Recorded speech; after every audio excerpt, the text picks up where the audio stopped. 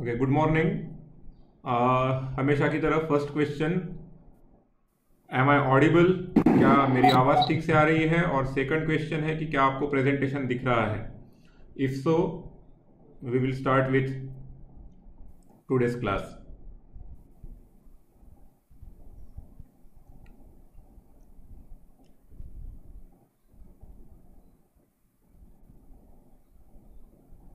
okay.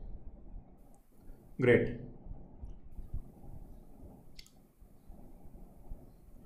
okay so let us directly start with the questions of the assignment 2 and once we are done with the assignment 2 then uh, we will discuss some more questions and the time schedule for the uh, this week upcoming week okay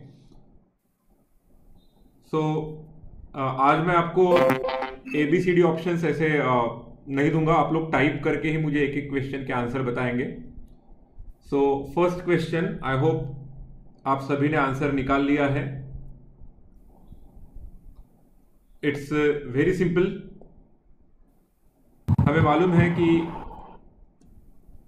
velocity या speed is equal to distance upon time speed is equal to distance upon time and hence distance is equal to speed into time right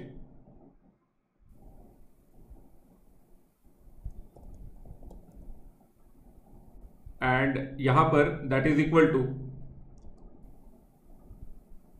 30 metre पर second into ten seconds एक particular चीज़ उसका observation आप लोगों ने किया है कि नहीं वो मेरे लिए इंपॉर्टेंट है। आपने आंसर 300 निकाल लिया। राइट? अब इसका आंसर हमें मालूम है कि अगर हम लोग इसे सॉल्व करेंगे तो ये 300 आएगा। बट हमेशा ध्यान में रखना कि ये 300 मीटर्स में क्यों आएगा? क्योंकि यूनिट्स कैंसिल होते हैं। और अगर आपने यूनिट्स को सही ढंग से कैंसिल करना सीख लिया तो जनरली आपकी गलतियाँ नहीं होगी।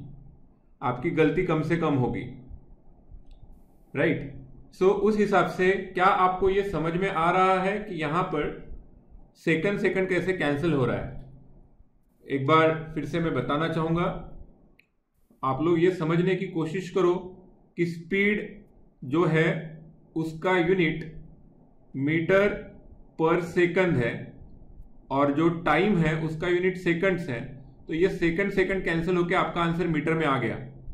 लेकिन अगर सपोज़ ये मीटर पर सेकंड में स्पीड दिया रहता और टाइम मिनट में दिया रहता या आवर्स में दिया रहता तो क्या आप सेकंड्स और आवर्स को डायरेक्ट कैंसिल कर सकते हो? नहीं।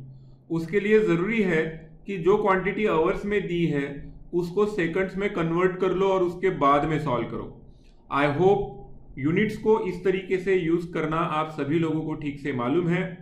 So for this question answer is 300 metres and almost all of you आप सभी ने करेक्ट आंसर बताया। Thank you very much let's move forward towards the next question.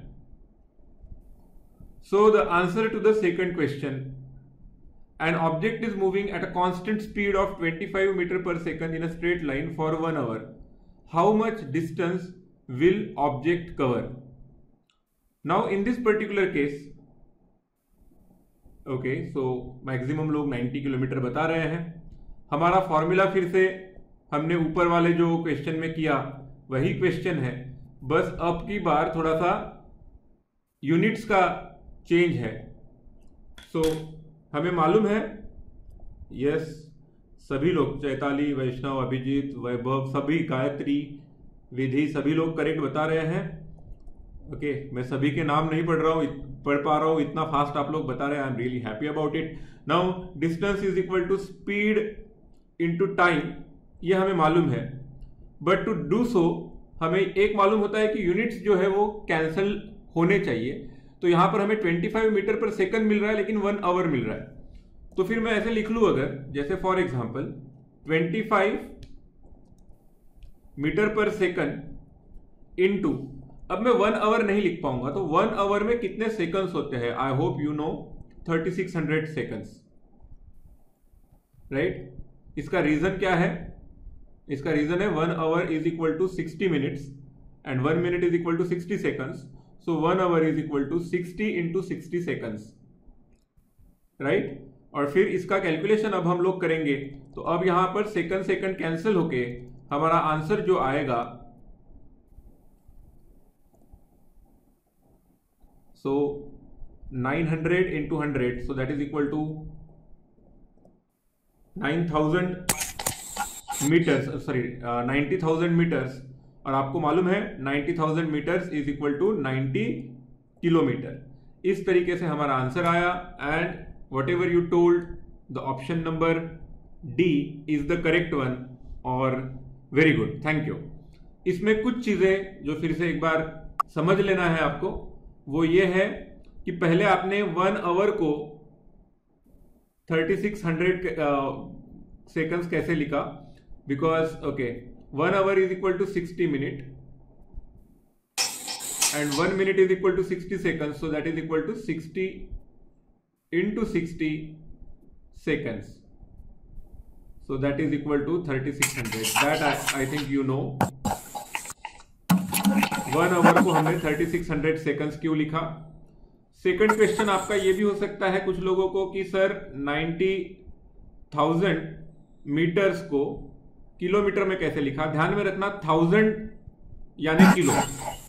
तो आप जब थाउज़ेंड से डिवाइड करोगे तो ये थाउज़ेंड क्या होता है? थाउज़ेंड इज़ मीटर पर किलोमीटर ये थाउज़ेंड क्या है? एक किलोमीटर में मीटर कितने? यानी metre by kilometre metre metre cancel हुआ, और यहाँ पर हमें मिल गया ये डिनोमिनेटर का डिनोमिनेटर न्यूमिनेटर में जाके किलोमीटर तो ये 90 किलोमीटर हो गया।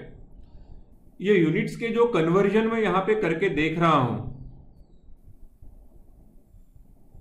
यूनिट्स के जो कन्वर्जेंस में यहाँ पे करके देख रहा हूँ, ये कन्वर्जेंस मैं आपको एक नया वीडियो बना के, एक नया लेसन हम लोग इसका लेने वाले हैं अलग अलग चीज़ों का, जैसे किलो ये क्या होता है, या फिर अलग अलग टाइप के यूनिट्स को प्रीफिक्सेस क्या हो सकते हैं बट वो हम बाद में करेंगे, अभी हम लोग सिर्फ़ थोड़ा सा बेसिक आइडिया यूज़ करके ये क्वेश्चन हमने कर लिया है।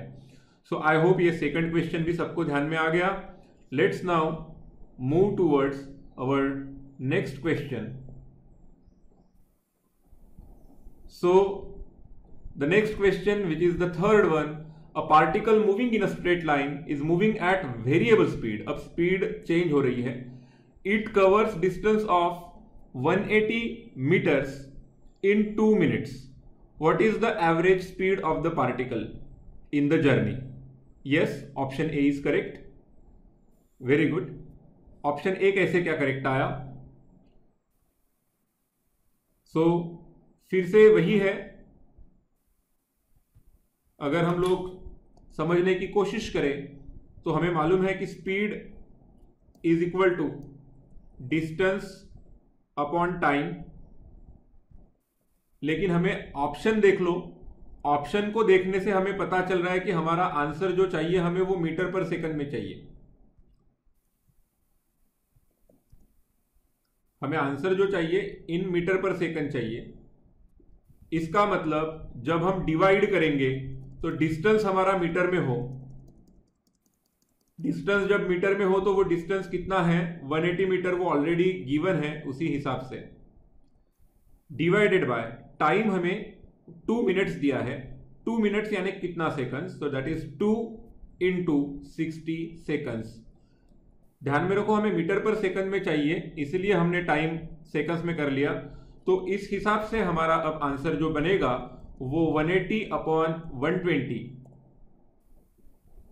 सो 180 डिवाइडेड बाय 120 ये क्वांटिटी आएगी और यूनिट आएगा मीटर पर second.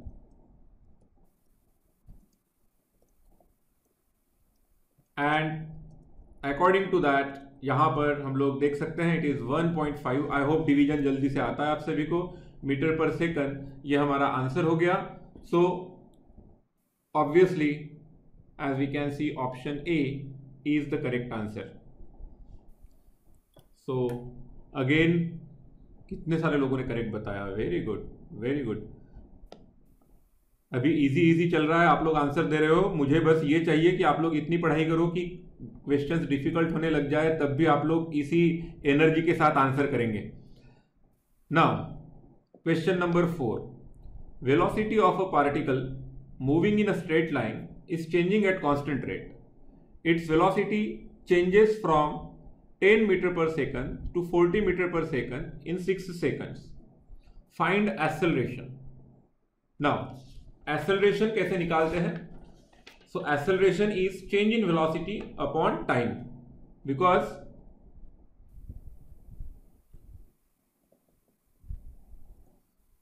so change in velocity upon time उस हिसाब से अगर हम करते जाएँगे तो अब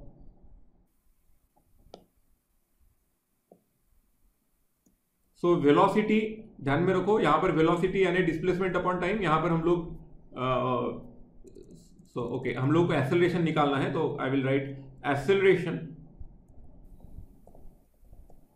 is equal to rate of change of velocity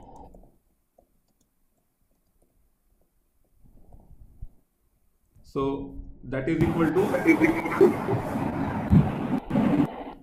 change in velocity upon time time किस चीज़ का? Time taken for change in the velocity so यहाँ पर चेंज इन वेलोसिटी कितनी होगी? तो it is final velocity which is 40 metre per second minus 10 metre per second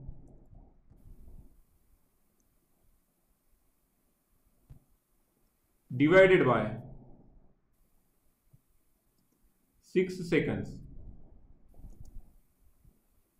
So calculations करोगे तो न्यूमरेटर आपका जो बन रहा है, वो बन रहा है 30 metre per second divided by six second तो ये 30 बाय सिक्स आपका फाइव हो गया। डिवाइडेड बाय होने की वजह से फाइव और यूनिट जो बना, वो है मीटर पर second per second divided by second आपको मालूम है? आप यानी इस तरीके से जब होगा तो सेकंड सेकंड मल्टीप्लाई होके आपका जो यूनिट बनेगा five metre per second square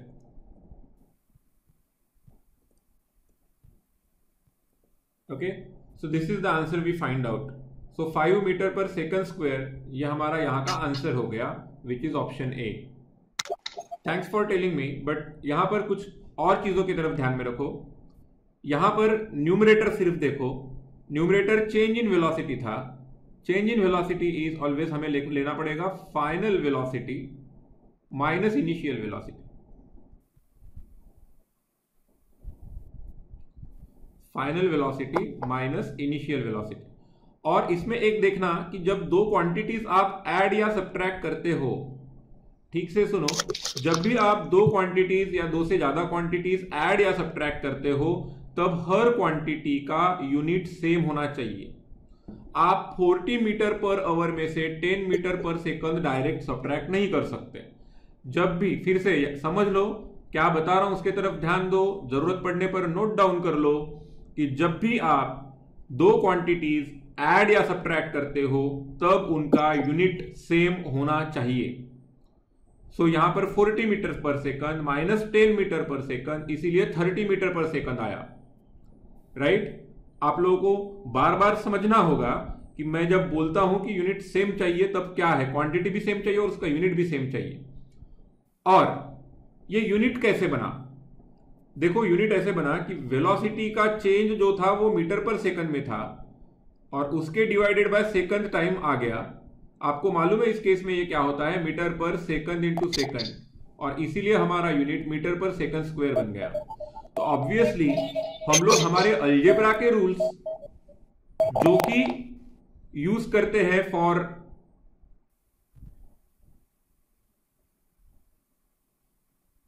okay so हम अल्जेब्रा के रूल्स जो कि यूज़ करते हैं फॉर अदर क्वांटिटीज यानी नंबर्स के लिए यूज़ करते हैं, वो यूनिट्स के लिए भी साथ साथ यूज़ करने पड़ेंगे। Okay so after that let's move towards the next question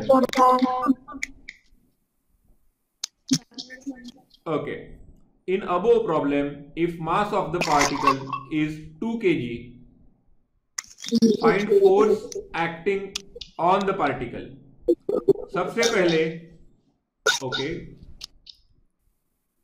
fifth का ऑप्शन मैक्सिमम लोग डी बता रहे हैं, यानी 10 न्यूटन ओके अब 10 newton in the direction of motion so option D okay let's think about it कि ये कैसे करना होता है।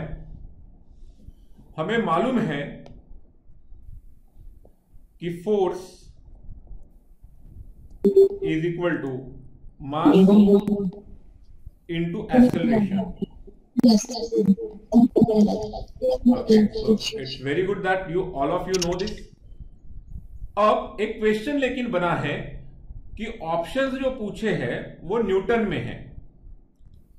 So what is one newton newton जो है वो एम के एस सिस्टम का यूनिट है, जो कि हम लोग सिस्टम इंटरनेशनल भी बोलते हैं। वो one K G into metre per second square है।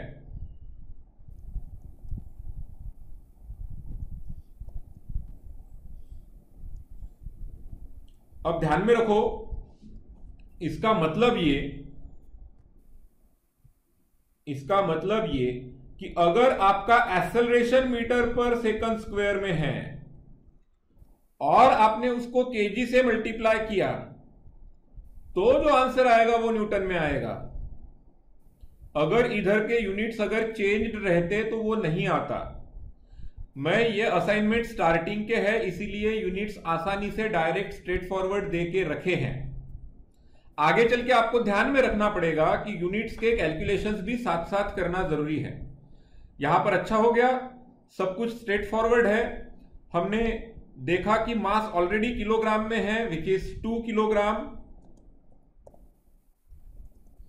into हमने इसके पहले वाले प्रॉब्लम में एक्सेलरेशन निकाल लिया, वो की है five metre per second square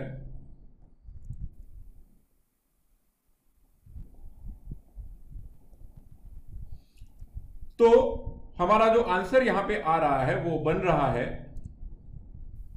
ten K G metre per second square.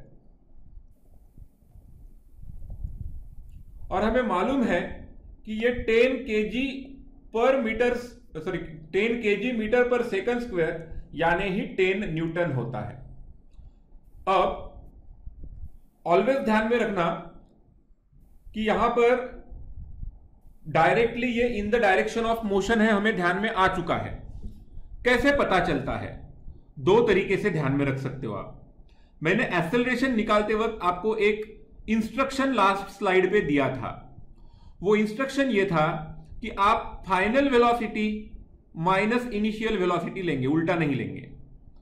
Final velocity minus initial velocity लेने से यहाँ पर आपका साइन पॉजिटिव आ गया एसेलरेशन का साइन पॉजिटिव आ गया। एसेलरेशन का साइन पॉजिटिव आ गया तो फोर्स का साइन पॉजिटिव आ गया। जब साइन पॉजिटिव आ गया तो समझ लेना कि वो in the direction of motion है। ऑपोजिट डायरेक्शन में रहे तो क्या होगा? ऑपोजिट डायरेक्शन में रहे तो क्या होगा कि फाइनल वेलोसिटी कम होती जाएगी। ध्यान में रखो, जब फोर्स ऑपोजिट डायरेक्शन में होता है, जब फोर्स ऑपोजिट डायरेक्शन में होता है तो बॉडी थोड़ी थोड़ी स्लो होते जाती है, यानी वेलोसिटी कम होते जाती है।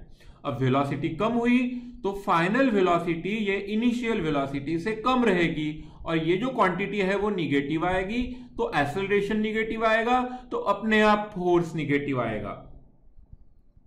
करेक्ट तो ध्यान में रखो डायरेक्शन ऑफ़ मोशन में जब फोर्स रहेगा तो एक्सेलरेशन पॉजिटिव होगा वेलोसिटी बढ़ती जाएगी और फोर्स का साइन पॉजिटिव आएगा एक्सेलरेशन का साइन पॉजिटिव आएगा। जब फोर्स ऑपोजिट डायरेक्शन में रहेगा तो चेंज इन वेलोसिटी निगेटिव होगा, क्योंकि फाइनल वेलोसिटी इनिशियल वेलोसिटी से कम होगी और फोर्स का साइन और एक्सेलरेशन का साइन निगेटिव आ जाएगा। ये मैंने साइंस के बारे में आपको जो बताया, क्या आप सभी को ध्यान में आ गया है? साइन के बारे में मैंने जो बताया, क्या वो आपको सभी को ध्यान में आ गया है?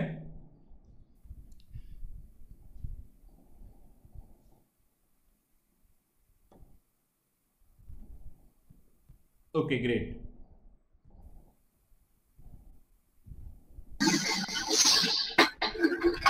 so thank you ना आई थिंक हमारा क्वेश्चन नंबर फाइव अब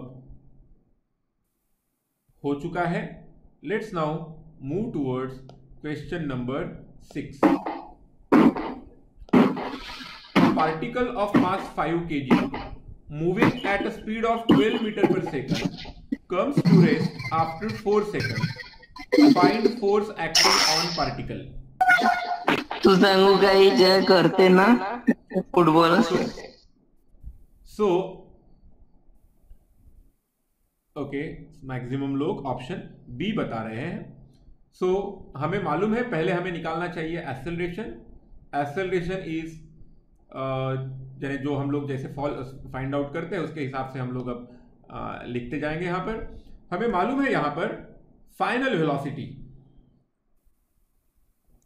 या फाइनल यहाँ पर स्पीड बोला तो भी चलने वाला है। ओके फाइनल वेलोसिटी जिसको हम v बोलते हैं is equal to zero metre per second. Initial velocity जिसे हम u बोलते हैं, वो यहाँ पर है 12 metre per second. So acceleration A is equal to V minus U upon T T already कितना है? टी दिया है फोर सेकंड्स सो so, यहाँ पर हम लोग जब वैल्यूज़ लिखेंगे तो वो हो जाएगा ज़ीरो माइनस ट्वेल्व क्योंकि दोनों की यूनिट सेम है। Zero minus twelve metre per second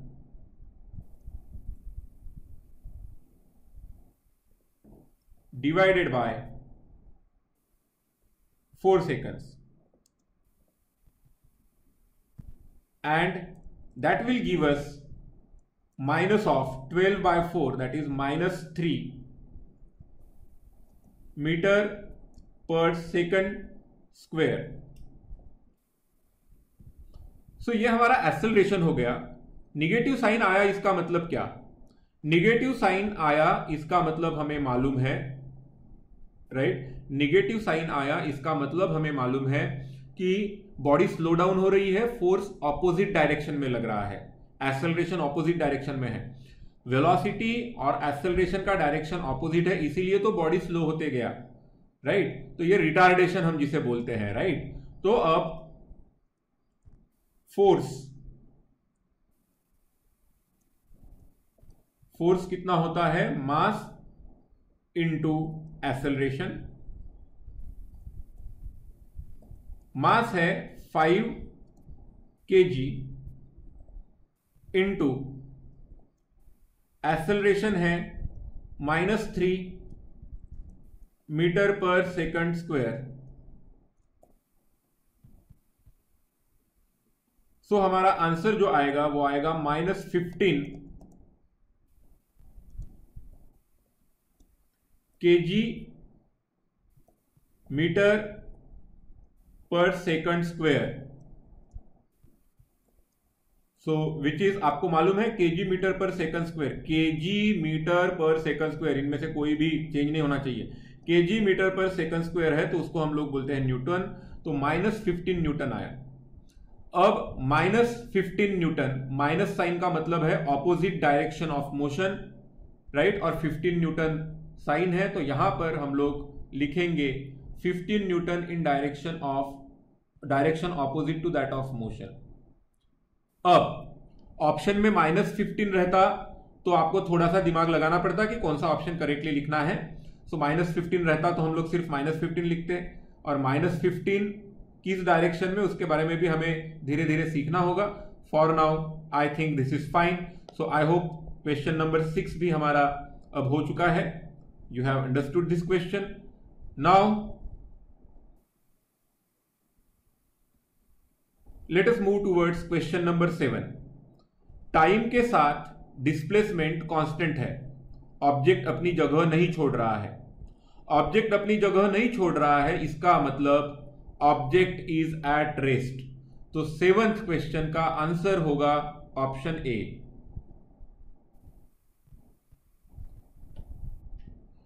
seventh का ऑप्शन ए कुछ लोगों ने बी बताया है। आप ध्यान में रखो सिर्फ़ ग्राफ कैसे दिख रहा है उतना बोलने से नहीं हो जाएगा। हमें यह भी देखना होगा कि एक्स एक्सिस पे क्या है और वाई एक्सिस पे क्या है।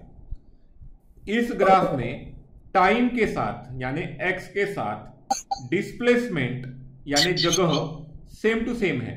यानी आप इस टाइम पर चेक करोगे तो वो जगह देखो और आप दूसरे किसी टाइम पे जाके वो जगह देखो। दोनों जगह, यानी दोनों टाइम पर दो अलग अलग टाइम पर जब ऑब्जेक्ट की जगह सेम है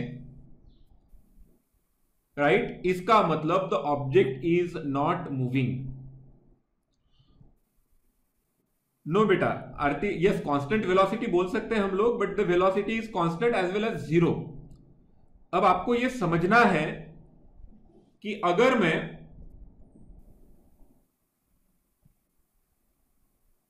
let's let's let's plot some one और टू ग्राफ्स वैसे तो मैं इसका और एक वीडियो जल्दी ही बना रहा हूँ, लेकिन सपोज़ मैंने ये ग्राफ बनाया टाइम और इधर लिखा डिस्प्लेसमेंट और ऐसा ग्राफ बनाया। ओके तो अभी मैंने जो नया ग्राफ बनाया, उसमें आप मुझे क्या बताएँगे? ऑब्जेक्ट इज़ एट रेस्ट और object is moving at constant velocity ये नया ग्राफ जो मैंने बताया, उसमें क्या बताओगे आप? इस नए ग्राफ में object is moving at constant velocity या कांस्टेंट स्पीड भी आप यहाँ पर बोल सकते हो। ठीक है? इसमें क्यों चेंजिंग एट कांस्टेंट स्पीड है? ये मैं आपको अलग यानी अलग वीडियो बनाकर फिर से बताने वाला हूँ। राइट लेकिन इसमें आपको ये ध्यान में रखना है कि होता क्या है कि सेम टाइम में, यानी मैं अगर सपोज़ इतना टाइम लेता हूँ तो इतने टाइम में बॉडी इतनी मूव होती है। This is the movement of the body मैं उतना ही टाइम अगर किसी और जगह पर लेता हूँ तो वहाँ पर भी सेम मूवमेंट दिखेगा। तुम्हें आप लोग ध्यान दो कि मैं अगर अलग अलग टाइम इंटरवल अलग अलग सॉरी सेम टाइम इंटरवल अलग अलग जगह पर लेता हूँ तो मुझे डिस्प्लेसमेंट सेम मिलता है। तो इसीलिए ये जो नया ग्राफ मैंने बनाया, ये होगा ऑप्शन बी लेकिन जो गिवन ग्राफ था, उसका था ऑप्शन ए ठीक है? अब ये डिस्प्लेसमेंट वर्सेस टाइम ग्राफ था राइट मैं जल्दी ही और आ, मैं जैसे बता रहा हूँ हम लोग ग्राफ्स का एक अलग सेक्शन जल्दी ही पढ़ने वाले हैं फॉर दिस मोशन जितना हमने अभी तक पढ़ा उसके लिए। आई होप आप लोगों को ये ध्यान में आ गया है। Now question number eight if the displacement time graph of two particles A and B are shown which particle is moving faster कौन सा पार्टिकल ज़्यादा फास्ट मूव कर रहा है? पार्टिकल ए या particle B yes particle B इसका answer है particle B कैसे पता करेंगे। क्या इसे पता करने का एक सिंपल रास्ता है? पार्टिकल बी मैंने जो बताया, उसका एक सिंपल रास्ता है। मैं आपको एक सिंपल तरीका बताता हूँ।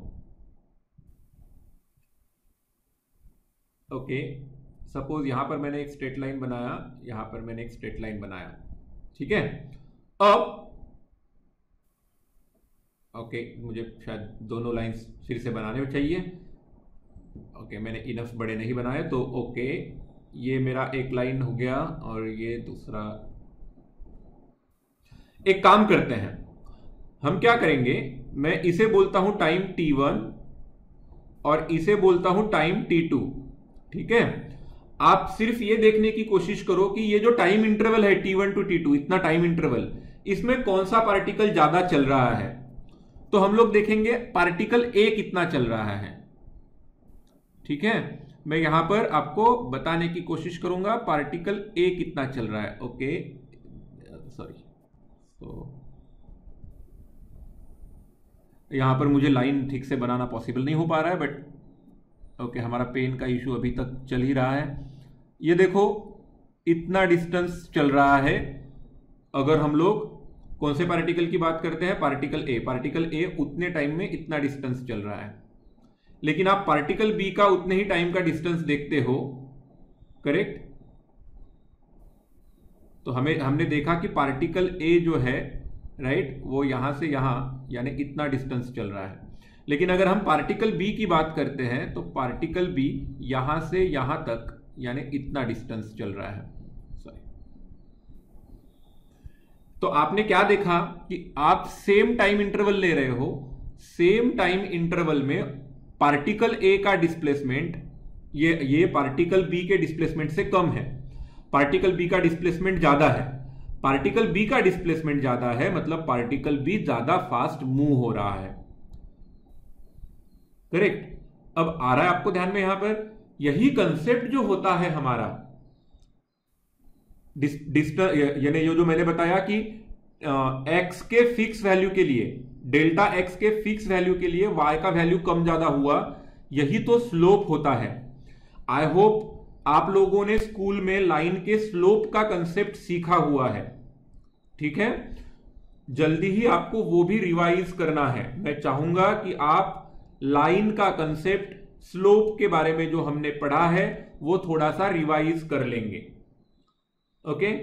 ना क्या आपको एट्थ क्वेश्चन सभी को समझ में आ गया जो मैंने एडिशनल बताया?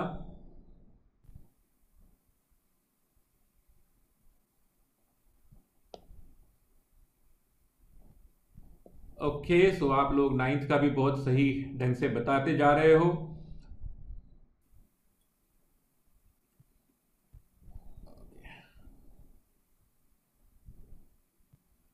हम लोगों को मालूम है, न्यूटन इंटू सेकंड पूछा गया है हमें।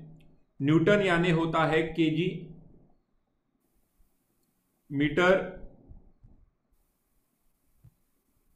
metre per second square ये हो गया आपका न्यूटन इनटू सेकंड तो आपको मालूम है क्या क्या कैंसिल होगा? एक सेकंड कैंसिल हो जाएगा। तो क्या बच रहा है? KG metre per second. आपको याद होगा K G is the unit of mass and metre per second is the unit of velocity तो ये यूनिट बनता है mass into velocity and mass into velocity जो होता है, वही हमारे लिए क्या होता है? मोमेंटम इसीलिए हमारा ये जो नाइन्थ क्वेश्चन था, इसका आंसर आ गया मोमेंटम एंड ग्रेट वर्क हम लोगों ने सभी नाइन्थ नाइन क्वेश्चन अब सॉल्व कर लिए हैं. सो आई एम श्योर सभी को ध्यान में आ रहा है, समझ में आ रहा है और अच्छे से पढ़ाई हो रही है. So for this particular video जो हमें स्टडी करना था ये पर्टिकुलर असाइनमेंट जो हमें स्टडी करनी थी, उसके आंसर सभी को आ चुके हैं ऐसा समझकर ये पर्टिकुलर पोर्शन हम लोग यहाँ पर एंड कर रहे हैं. Thank you very much